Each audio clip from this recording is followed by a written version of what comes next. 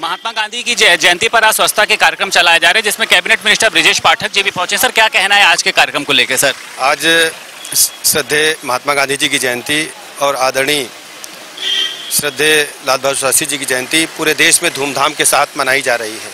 जहाँ जहाँ मनुष्य रहते हैं, वहाँ वहाँ महात्मा गांधी जी को आज याद किया जा रहा है। जिस ढंग से उन्होंने पूरी दुनिया को अहिंसा का संदेश दिया, भारत को आज़ाद तो कराया ही।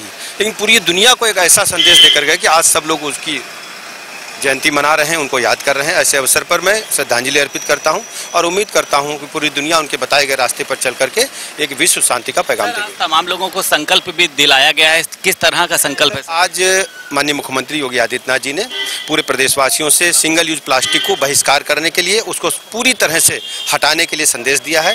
माननीय मुख्यमंत्री जी ने स्वयं हजरतगंज चौराहे से लेकर सिविल अस्पताल और कालिदास मार्ग चौराहे तक लेकर के जो भी प्लास्टिक के मतलब वस्तुएँ पड़ी थी उनको एकत्र करके कूड़े में डाला है और कहा है कि बिल्कुल इसका उपयोग न करें। बहुत बहुत शुक्रिया। हमारे साथ कैबिनेट मिनिस्टर ब्रिजेश पाठक जी थे, जिनका साफ़ तौर पर कहना यह है कि आज मुख्यमंत्री योगी आदित्यनाथ ने सिंगल यूज़ प्लास्टिक को बंद करने का आह्वान किया और तमाम लोगों से भी यही अनुरोध किया है। संदीप खेर, कैमरा पर्सन प्रियांश के साथ आर नाइन टीवी लखनऊ।